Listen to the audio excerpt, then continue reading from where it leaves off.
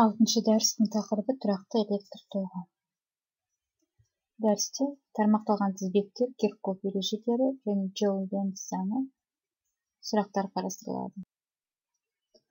Тармақталған тізбектерді есептеу мысалы тізбектің жеке тармақтарында тоқтарды табу кирков ережелерінің қолдану арқылы оңай орындалады. Киркковтың бірінші ережесі ол тізбектің түйіндеріне яғни тармақталу нүктелеріне қатысты. Түйінге қосылатын тоқтардың алгебралық қосындысы нөлге тең бірінші теңдеумен берілген. Суретте түйінге енетін және түйіннен шығатын тоқтар көрсетілген. Мында біреуінің таңбасын оң біреуін теріс түрінде аламыз. Енетін тоқты мысалы оң деп алатын болсақ одан шығатын тоқты теріс деп аламыз. Яғни түйіндерге келетін тоқтар мен түйіндерден шығатын тоқтар әр таңбалы шамалар деп есептеледі. Жаңа айтып кеткенімдей ә, мысалы біріншісін оң немесе екіншісін теріс деп айтуға алуға. Болады ә, осылайша бірінші суретке қолданғанда бірінші теңдеуіміз мына түрде жазылады екен.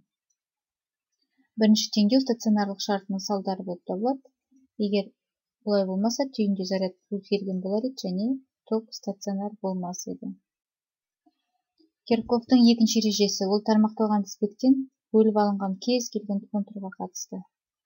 Кез келген тұйық контурдың жеке бөліктеріндегі ток күштерінің олардың кедергісіне көбейтіндісінің алгебралық қосындысы осы контурдағы электр қозғаушы күштерінің алгебралық қосындысына тең деген екінші теңдеумен берілген бұл киркофтың екінші ережесін береді. Бұл ережені дәлелдеу үшін бөліп алынған контур үш бөліктен тұратын жағдайды қарастыр, қарастырсақ болады.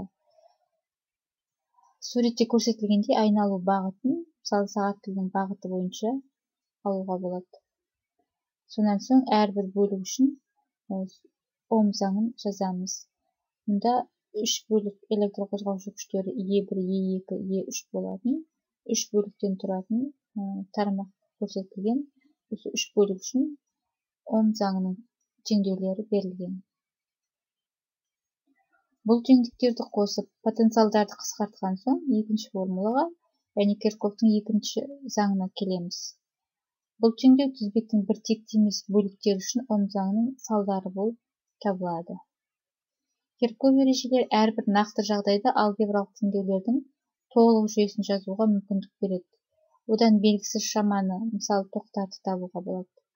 Бір мен екінші теңдеулердің саны ізделініп отырған шамалардың санына тең болуы керек.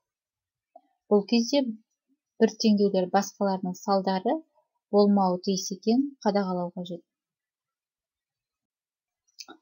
Егер тармақталған тізбекте n түйін болса онда бірінші түрдегі тәуелсіз теңдеулерді n минус бір түйіндер үшін ғана құруға болады. Егер тармақталған тізбекте бірнеше контурды бөліп алуға болатын болса онда екінші типті тәуелсіз теңдеулерді қарастыр, қарастырылғандардың қосу нәтижесі болмайтын контурлар үшін ғана құруға болады. Бірінші және екінші тип теңдеулерді құру кезінде мыналарды ескеру керек.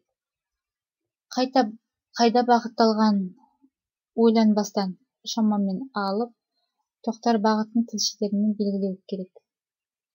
Егер есептеу нәтижесінде осындай ток оң болса демек оның бағыты дұрыс таңдалған. Егер ток теріс болса онда оның шын мәніндегі бағыты тілшелерге қарама қарсы бағытталған. Кез келген тұйық контурды таңдап алып оның барлық бөліктерін бір бағытта мысалы сағат тілінің бағытында айналып шығу керек. Бұл ережелерді ә, есептерді шығару кезінде осы кирков ережелеріне қатысты есептер шығару басында осы ережелерді қолданған тиімді. Әрі қарай біз джоуль ленц заңын қорыту үшін тоғы бар өткізгіштің қарастырайық. Яғни кедергісі бар өткізгіш арқылы токтың өтуі мен жылудың бөлінуі бір бірімен тығыз байланысты жүретін процесс. Біздің міндетіміз тізбектің белгілі бір бөлігіндегі уақыт бірлігінде бөлінетін жылу мөлшерін табу. Мұнда біз біртіндеп қарастыратын мүмкіндік мүмкін екі жағдай бар. Тізбектің біртекті және біртекті емес бөліктері. Бұл сұрақты шешудің негізіне біз энергияның сақталу заңы мен ом заңын аламыз. Тізбектің біртекті бөлігін қарастыратын болсақ біртекті бөлігінде тізбектің өткізгіштің бірінші және екінші қималарының арасында тоқ өтеді деп есептейік. Яғни потенциалдары фи бір және фи екі болатын. Өткізгіштің бірінші және екінші бөліктерінен дт уақыт аралығында тоқ зарядтардың қозғалысы болсын деп қарастырайық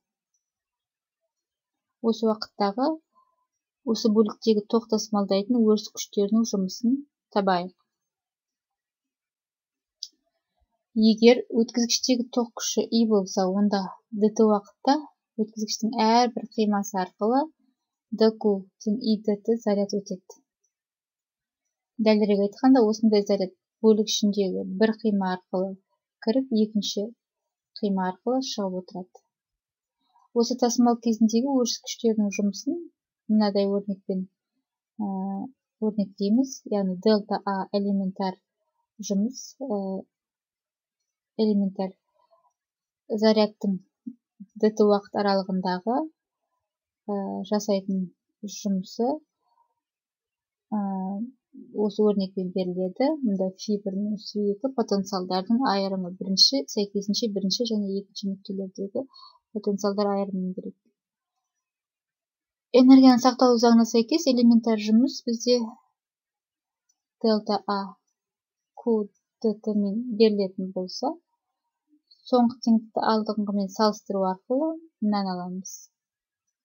Q деп отырғанымыз и дельта фиға тең яғни ом заңы бойынша уымыз r i болғандықтан біз q q нүкте яғни мына түрде жаза аламыз джо ленц заңының негізінде элементар көлемде дт уақытта бөлінетін жылу мөлшері мына формада жазылады. Яғни дельта элементар жылу мөлшері r i квадрат dt мұндағы ро длд ро деп отырғанымыз өткізгіштің меншікті меншікті өткізгіштігін береді. Dl элементар өткізгіштің ұзындығы ds ауданы.